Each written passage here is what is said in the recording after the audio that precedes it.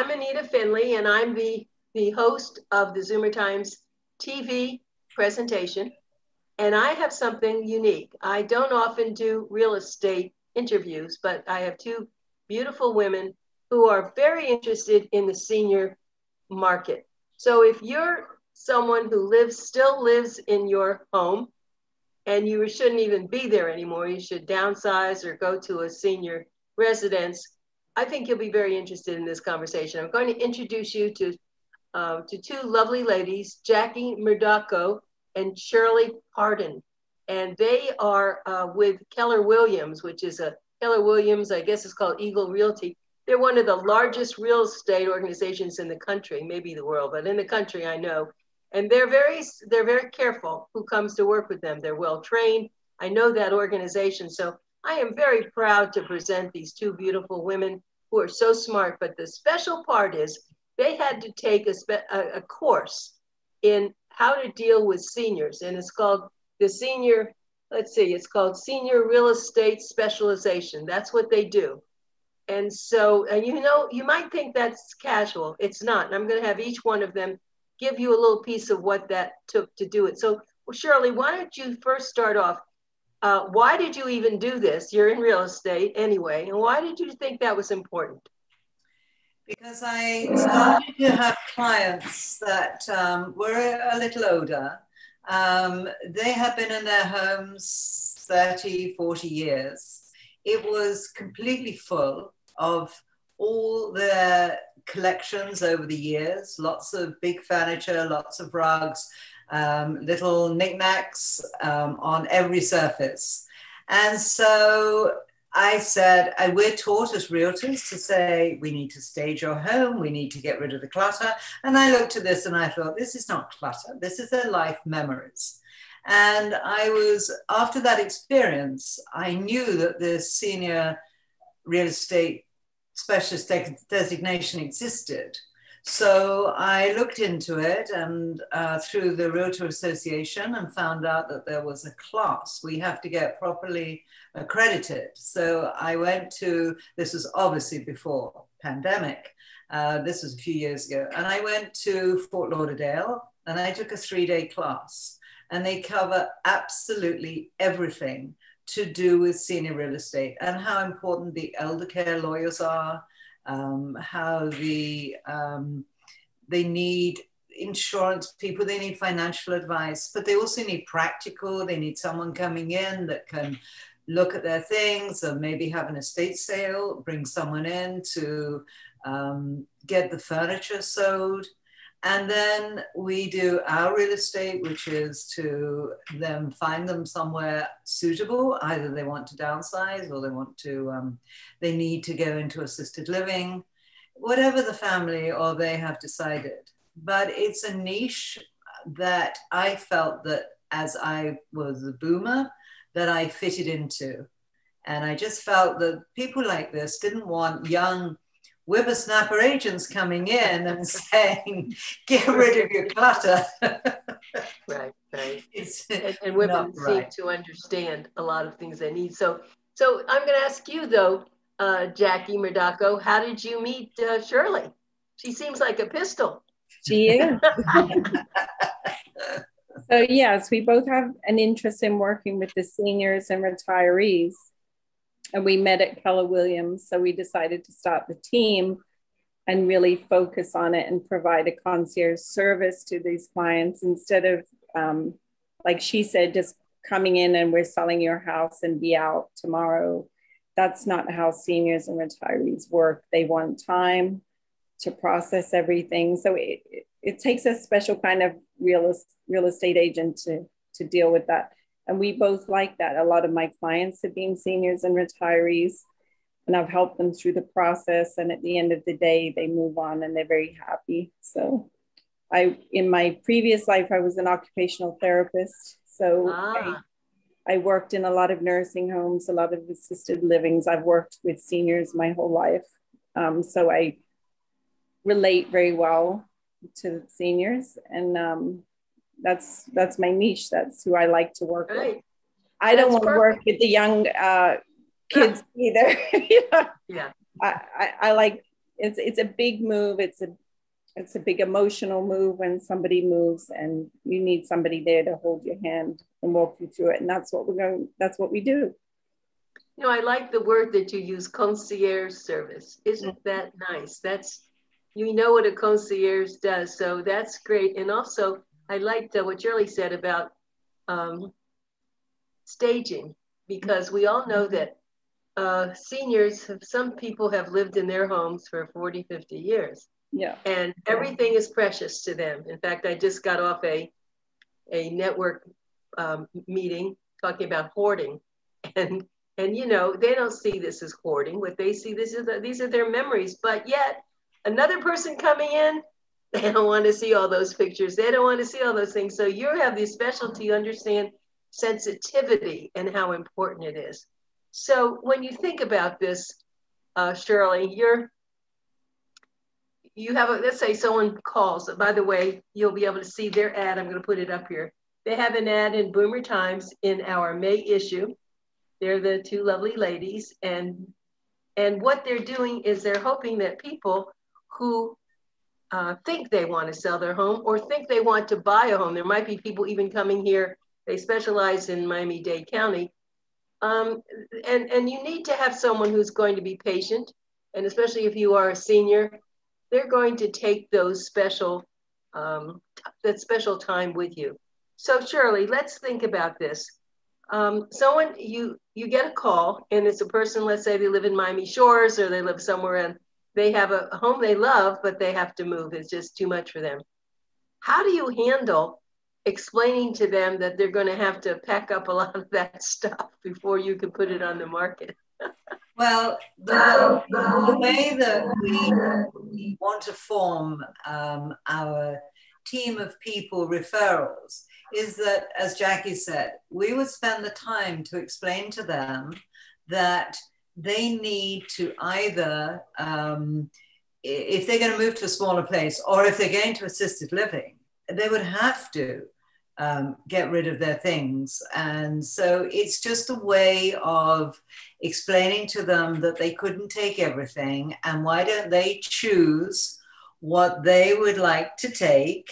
I mean, obviously, that's the first thing. Once you've once you made a little cut, you know, the next cut is not quite so painful.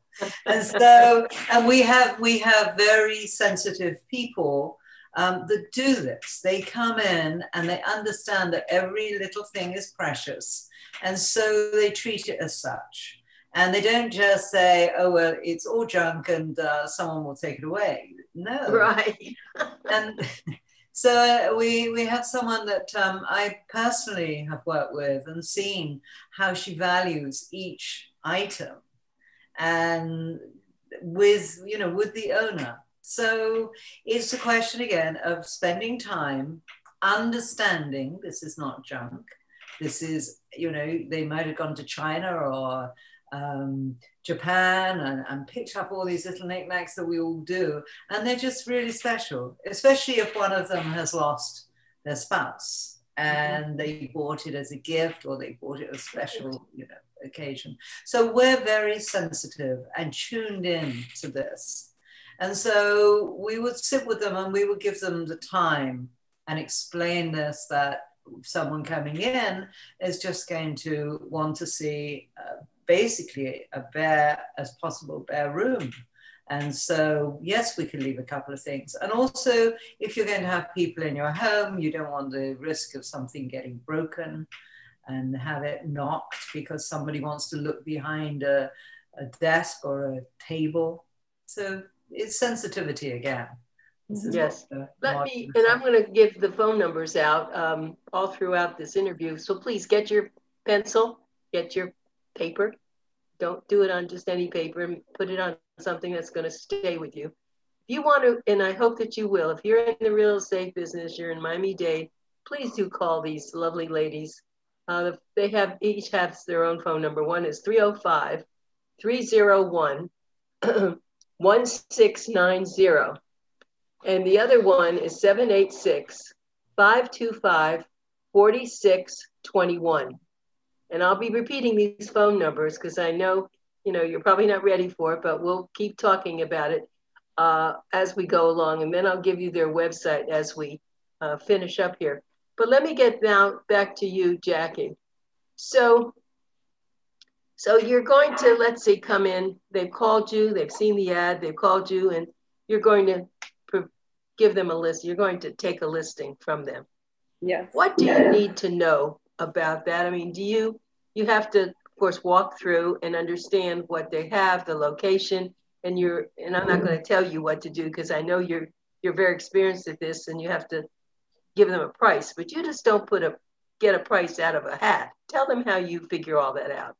Right. So when we when we go to a property, we look at any kind of updates that they've done. Do they have a pool? Is it a two story? Um, what have they updated the bathrooms, the kitchen, the flooring, any of those? Every little thing makes a difference in the pricing. So we look at those and then we compare those to similar homes that have sold in the area. That's called a comparable price study. So that's the best way to find out how much a property is worth. So we do that and then we present. And we also take into consideration what the client wants to sell the property for. And then we try to come to an agreement that everybody's happy with. So it, right. it works out because people have an understanding of what their house is worth because their neighbors have sold the property or whatever. And then when we do the comparables, we end up in a place normally where everybody agrees. So, and then the next thing is working on a timeline. Mostly seniors and retirees do not want to sell quickly. They need a bit longer timeline. Sometimes, well, they have, yeah, yeah, So we have to work with that. Um, do they want to lease back? Do they want to sell the property and then have time to move out? these are all the kinds of things that we try to work out in the beginning so that when we do start to get offers, we can be very open with buyers and say, well, look, you know, the sellers really want to stay for another month or two after they sell. Are you okay that? Like all of these little things make a difference. So to yeah. How happy someone is when they move, because especially in this market that's going very aggressively, they could get an offer within days, but they're, they're not ready for that. They want time to move out. So. Good point. Yes, it is a very different market. Um, so let's just say that the one thing that I, I know from selling real estate myself is we really don't want the owner there. And I'm sure you make arrangements because something that Shirley said, people are so sensitive. And if you, if you hear someone say, look at that terrible something there. And oh my goodness, that person, the owner will say, I don't want to sell this to them because they don't love my home because they want someone to come in and love their home, don't they? yes, exactly. So that's that's what you were you were talking about that you see so you you know all those things now a lot of people they want to be there and and i that's something you have to figure out so um, you know, Shirley, have you run into that where they don't understand that you making the appointment and they want to be there to see them and they want to make sure nobody's going to touch their things? No, well, that's what we instill up front when we first meet that we are there, we are um, the professional people that are coming in to do this, and we personally guarantee that we make sure that no one touches things and no one and we in this market we work together you know as a, single agent or when you're doing something on your own.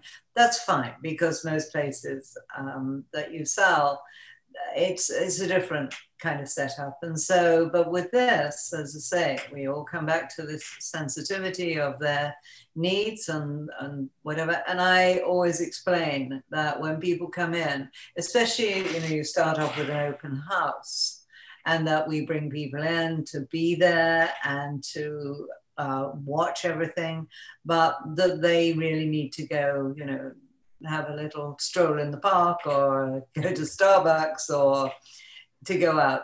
I mean, it gets more difficult when, obviously, as it is today, I mean, there's such a huge influx of people. But again, that's something we manage. We don't, we're very um, conscious that they do not want to have the house straightened up in half an hour. So someone driving by and saying, "Oh, well, call up and oh, we'd like to look at that," and it's no, no, it's 24 hours, and if you don't like it, well, you know, move on to another house. But we we must protect our client, and that's who we're working with and working for to get their home sold. I just wanted to touch on something you said earlier about buyers. The other thing that Jacqui and I do is that we have people that can alter a home to make it um, more compliant for people. So people that are buying, um, it may you know just be a regular house, but they can we can get someone that installs bars in the bathroom, uh, maybe a ramp, um, any alteration um, that needs, you know, for somebody to be comfortable in the home. Because many homes, they're now so lovely with their porcelain marble floor and, uh, you know, steps here and narrow steps upstairs that they're really not suitable. But we can adapt because we have uh, people, these are part of people that we're using, part of our referral team. So I just wanted that's to make excellent. that point. I, I am so glad you mentioned that. That see, that's what is the difference in someone just calling a general realtor and calling someone that understands exactly what you said, and then knowing about Jacqui, and then the fact she was a, you know, um, a, uh, um, I guess, see, you said that you were actually, uh, let's see how, how you put it. It was a therapist. You were what kind of a therapist? Called an occupational therapist. I'm sorry, I didn't hear that. Occupational therapist. Oh, an occupational therapist, right. So you, whether you were old or young, occupational therapy, you understand how a person walks around, moves, and what they need. And and I think what what Shirley said so true that now some of those older homes do have perfect places to slip. Uh, you know, they don't have a lot of the things. In fact, I even had someone come in and put in grab bars in my my showers. But you know, it's not the what they built it with. But let's let, let me just tell everybody again. Let me give you the phone numbers again. This is for Jacqui Murdocco and for Shirley a Pardon. It's 305 301 1690 786 525 4621. Now, you may be listening to this, or you may not even be a senior. They will certainly sell or buy, they'll take you with them and they'll help you buy a home They'll also sell your home. They don't, they, they specialize in senior, you know, realty because they know a lot, but don't let that fool you. I mean, they know so much they, about the big condos, about a lot of things. We're just focusing in, uh, if you are a senior and you're watching this or hear about them, because there aren't very many people like them. And that's why we were happy that they joined with us. But let's also talk about are you doing rentals for people? Let's say someone does come in from up north. Yeah. So, so uh, Jacqui, are you, uh, you have rentals all over uh, houses and condos?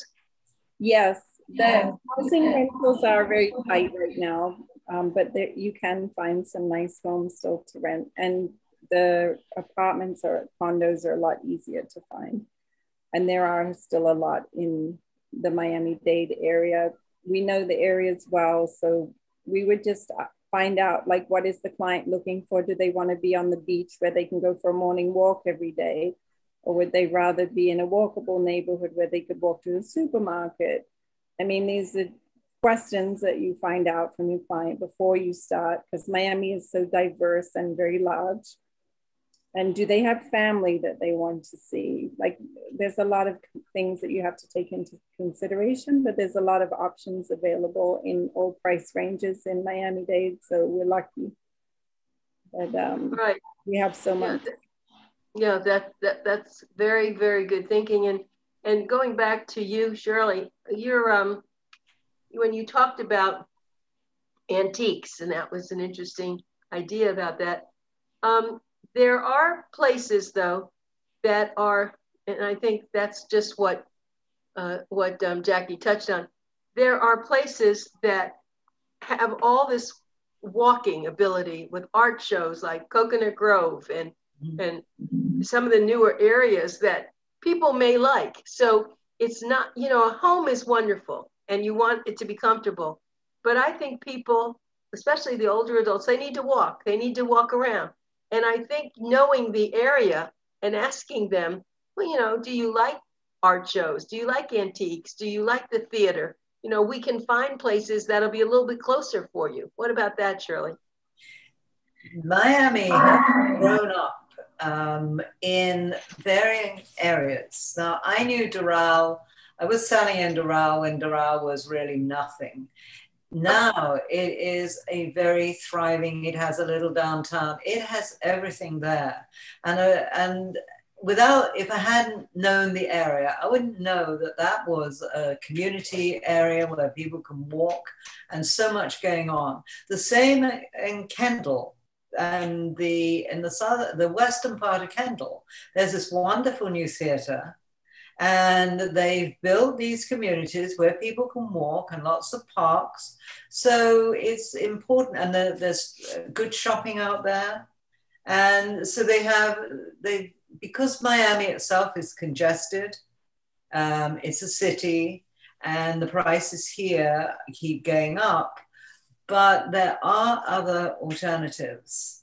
And as, as Jacqui said, Coconut Grove, but I mean, there's the Gables, they're developing a lot in Western Gables. Mm-hmm. And so they're now putting in place in these areas, and they have hospitals and they have very good facilities whereas it was sort of almost like a wasteland. I've been here 30 years, and I mean, Kendall was nothing.